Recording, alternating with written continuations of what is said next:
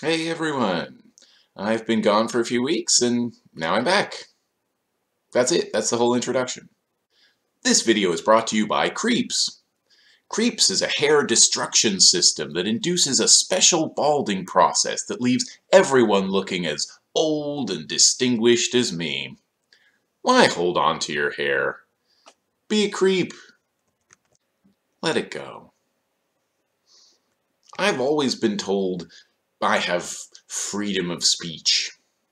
I've rarely had it explained to me what that is.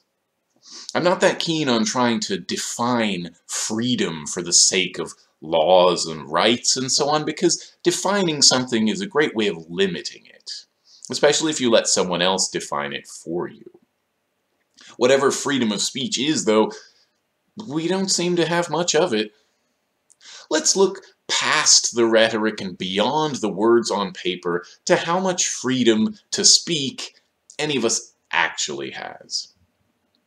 Your childhood might have been different, but I and everyone I know were told what to say and what not to say at every turn.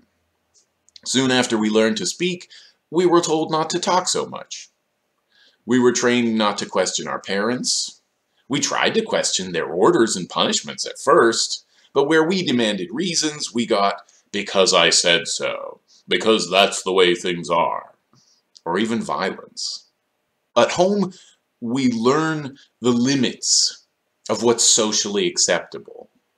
How do you think it affects children when we teach them to limit their own thinking and feeling?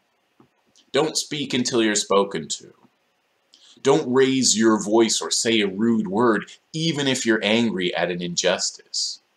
We quickly learn justice doesn't matter, at least not to our parents.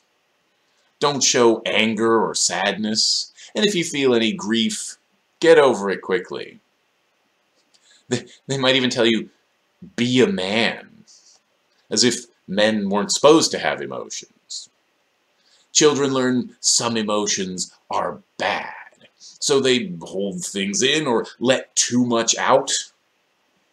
Kids need to recognize their emotions without prejudice so they can understand why they're feeling them and learn to control them. But they're not allowed a full range of emotions, and they're not allowed to talk about a full range of topics. Don't talk about taboos like politics, money, sex, drugs, racism and so on, these huge phenomena in the world, or if coaxed into talking about them, your parents might just lie. And you'll grow up believing the lies and finding things out the hard way, maybe. Parents don't have to have all the answers, by the way. And if they could just admit when they don't know, children might learn from their humility. You could research these things together. But instead, you get told to shut up. In learning what was acceptable and unacceptable, we learned shame. If you don't want to do everything your parents want you to do, they will try to mold your thinking by encouraging, discouraging, permitting, prohibiting, and so on. Their limits become your limits.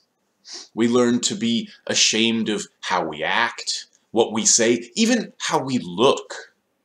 Your body that you were born with is wrong because people who read fashion magazines say so.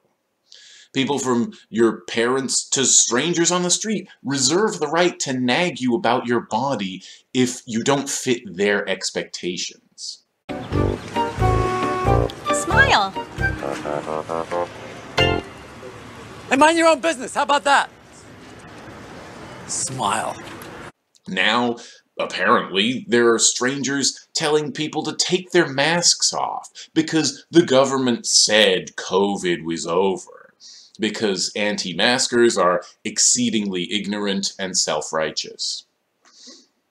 We're taught to suppress our emotions. Not that our emotions are valid and justified, but that since this isn't the time and the place, or since the world is full of injustice, we should just keep quiet and accept all of it.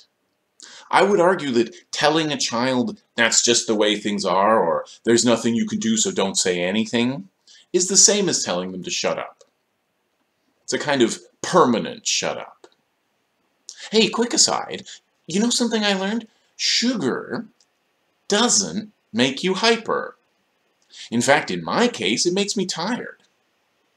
Parents see kids at parties with groups of friends playing games and come to the conclusion they're hyper because of the cake and ice cream. No, they're excited because they're finally able to do what they want and express themselves and have fun. But even a child's expression of fun has to be curbed and shamed. So kids are taught to think and feel and act only within the strict limits set by parents and culture. Then they're placed under constant surveillance. Some parents give their kids some autonomy, sure, but others are so scared their children might do or learn something unauthorized, they dominate every aspect of the child's life, offering them no freedom to do or say anything. I didn't have it that bad. I had time to play and be myself and stuff, but then my parents weren't under the same pressures to shape me to conform to a culture that believes I should be spending all my time working for someone else. And God forbid kids show any signs they don't fit this mold. Boys who like dancing or dolls inspire gasps of terror from parents who are prejudiced against homosexual and transgender people, so they get pushed into sports they don't like. As if to somehow prevent them from turning gay. Because that's definitely how it works. Shit, kids assigned male aren't allowed to like the color pink. Why is that man in pink? Oh, that's Homer Simpson, sir. He's one of your boobs from Sector 7G. Simpson, eh? Well, judging by his outlandish attire, he's some sort of free-thinking anarchist. I'll call security, sir. Excellent. Girls aren't allowed to be tomboys in all households, so they get bought dolls they don't want to play with, ballet shoes they'll never use, and so on.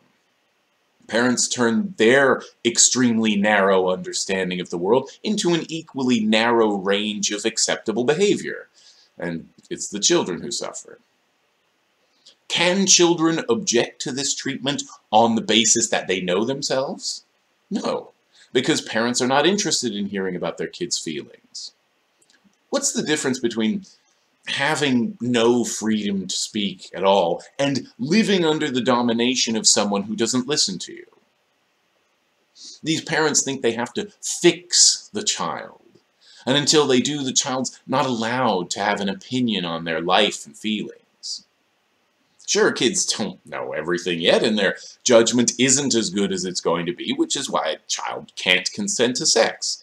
But that's not the same as not knowing whether they're a boy, a girl, or something else. I knew I was a boy from about six, and that I was interested in girls before puberty. But some parents assume their child couldn't possibly know those things, so they ignore the child's wishes and make all the decisions. Many of them reject their own children because those children do not become exactly what the parents wanted them to be. In fact, some of them get so self-righteous, they write books and articles devoid of facts instead of listening to their kids. Any behavior outside the acceptable must be punished, concealed, and blamed on other people. But bullying's okay. If kids are different, they're bad, so it's okay to bully them. Eventually, we learn to shut up and accept authority, and even carry its water. That was great for the schools. We went into school with bright eyes and big questions, and we came out sullen, bored, and spiritless. At school, a child's interests and curiosity are suppressed. Only approved questions get answers, only approved answers are allowed. We learn to obey in an even more threatening environment than at home because we were now watched every minute by someone itching for a reason to drag us back into the fold. So of course we couldn't say what we wanted. Our words and actions were strictly controlled, even though we were always told this was the place to go and learn about the world. What, what do you learn by being silent at a desk all day? Well, discipline and propaganda, mostly, to prepare us for a life at work. So when do kids have the freedom to speak? During the walk home from school? So we learn not to question authority, which means when we grow up, we don't know the right questions to ask. If only I'd learned to ask why and who says so, and realized that people who wouldn't give clear answers were lying. You're allowed to listen to your parents, teachers, media, bosses, and the state lie to you all day, but you're not allowed to question it. And neither are the teachers. Teachers can't teach outside the curriculum. They can't tell kids, actually, this is mostly bullshit. And they didn't learn the truth in school anyway, so they might not realize it's mostly bullshit. What's more, when kids aren't allowed to question authority, they're wide open for abuse. They don't know there's another way to grow up, or that they could be telling someone about their problems. And many of them are still like that when they become adults. They might even seek out abusers because that's all they know. School conditioned us to accept someone's authority based entirely on where they are in the hierarchy, regardless of what they did or how they acted. It conditioned us to accept a life of taking orders from people we don't like for most of the day. And it taught us to shut up we had all the elements of the perfect employee. Do I make you nervous? Sir! Sir, what? Are you about to call me an asshole? Sir, no, sir! After all, there's no way you can claim we have freedom of speech at work. You know, where most adults spend most of their waking time. What you say has to be within the approved propaganda you've been learning all your life. You know, you you you want to work for this firm. You like working here. You like working as hard as you can. Of course you'll do overtime. You don't mind paying for your own education to benefit the business. You're not frustrated with the boss's interference. You're happy to go along with any new policies and have no opinion other than complying. And work is like school in that if there are bigots or other bullies around who are given free rein, especially when they're the boss, you probably can't be yourself at work either. Some teachers or other workers get fired just for being gay or trans, because the right wing has flooded the internet with lies about them. It's not just kids who aren't allowed to be themselves. Do, do any professions allow people to speak their minds? Like, obviously not if you're in the media, PR, or anything in the public eye, because you have to say what someone tells you to say. If your opinion uh, clashes with that of the owners, you might get fired. But really, where can you say anything that contradicts the conventional wisdom or the boss? Only in the most permissive and open of companies. Can you voice concerns that what you're doing is bad for the environment? Or that it'll hurt people? Maybe. But if the bosses aren't listening to you, and the owners don't care, it doesn't matter. You can become a whistleblower if you don't mind losing your job and going to jail. That's what freedom of speech means at work. We've been well prepared throughout our lives for constant surveillance, First it was our parents, then it was the schools.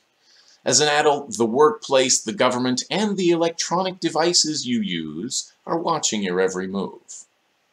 Sure, you could say what you really thought, but someone might hear.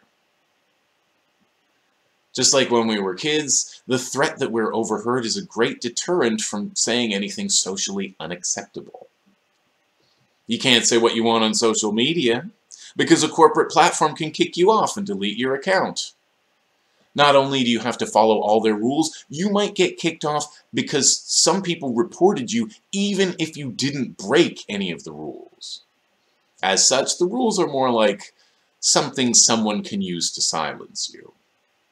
And if you're going to say that I have freedom of speech because I have a YouTube channel, I can assure you there are a million things I want to say that I don't. I've learned self-censorship. Plus, I can take some of your freedom to speak away too, because uh, if I think you're being an asshole, I can block you. So in your own home, on your own computer, you can't say what you want. And you can't say what you want outside your home either, because the police can stop you. You might have heard a handful of scientists recently protested the UK government's lack of response to climate change and were met with a battalion of police who arrested them. As enforcers for the state, the police have long demonstrated that they are on the supply side of climate change and will fight any efforts to address it publicly. And this is just one of any number of examples of people being arrested in spite of their so-called rights I can provide you if you want more. That said, if you're white supremacists, well, the police will probably protect you then. The adult world is full of forces that can take away your freedom to speak. What if you're too sick? Possibly because people around you were so nonchalant about COVID they didn't take basic precautions. What if a judge has sentenced you to prison? What if you've been declared physically or mentally infirm and have been imprisoned as a result? What if you're out of prison but still carry a stigma so no one wants to listen? What if you're trans and you live in the US or UK where bigots are trying to legislate you out of public life? What freedom do any of these people have to speak? Freedom's only for people with money. But even if I'm mistaken, and despite everything I've presented, you I'm wrong and you have the unlimited freedom of speech you've been promised, clearly it is not a very effective freedom. Being allowed to speak changes nothing. It just means you can vent. That's no consolation to people getting their asses kicked by the state or the boss or the landlord. They can't speak their way out of poverty or prison. We can't calmly discuss our way to a better political system. What's the value of free speech if you can't use it to get what you want? The political system uses violence against you, but you're not allowed to fight back, only to speak. And you shouldn't do that anyway without a lawyer present, or you could incriminate yourself. And while you have the freedom to speak individually, the police will attack a large enough group of people registering their discontent, as we saw over and over again in 2020 when they attacked nonviolent protesters, and which we see in every city that hosts a large international summit. Yet people simply can't understand why others are rioting. Why would they riot? Just because their voices and votes get ignored? Just because the system locks up their friends? Just because there's no freedom and justice in a state system? Doesn't mean you should do anything about it. Just focus on yourself and make money and shut up. There are so many assumptions about the, the power of speech that have little connection to reality. Freedom of speech does not change the system. It is integral to a system that claims to provide freedom. You can say whatever you want, it alleges, while arresting protesters, criminalizing teaching history, and punishing everyone who doesn't accept the system as it is. For those who are briefly permitted to speak, right-wingers in the media will make things up and turn them into villains. It happens every time. But some speech gets you what you want. It's clear being exposed to endless right-wing lies leads to mass shootings, vehicular homicide, fear of anyone who doesn't conform, and the worship of the police and military. Hey, hot women and alpha males who subscribe to my channel, it's me, Evil Chris from WI Had to BS Radio, and all I know is we're free. Okay, it says so in the Constitution. says so in the First Amendment. The country's always been based on the idea of freedom, even if no one's practiced it. We have a charter of rights and freedoms in Canada. Rights and freedoms, Chris. That means you have rights and freedoms. You know, like keeping out immigrants. Anyway, thanks for watching me take this guy down like a boss. Buy my merch! Thing is, Evil Chris, words on paper can never grant people freedom. They can only mislead you as to the nature of the state. The state uses force against us every day to comply with its laws, regardless of what rights it says we also have. When you look at how your so-called rights and freedoms are treated in practice, you see they can be withdrawn at any time. You're allowed to speak to the extent that your speech has no effect on power. Your speech must either reinforce the status quo or be powerless. Your voice should be a tool of the ruling class, and if it isn't, you should be silenced or ignored. But we can't know the truth if no one's allowed to express it. And if no one speaks the truth, we can't go anywhere to find it. We don't even know what questions to ask.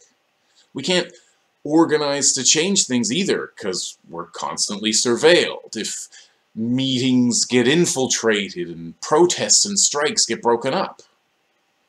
But people will still tell you all your life that you are free. To people who don't think, you know, about what the word means, freedom is anything.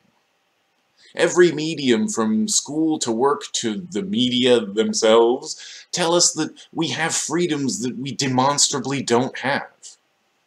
Most people who talk about freedom all the time don't value it at all. The word gets used to shut people up, pass draconian laws, ban words, books, and people. Only by considering what freedom means to you and to others, what it would mean if we were truly free to be ourselves, can you see how little freedom any of us actually has. Alright, enough of that.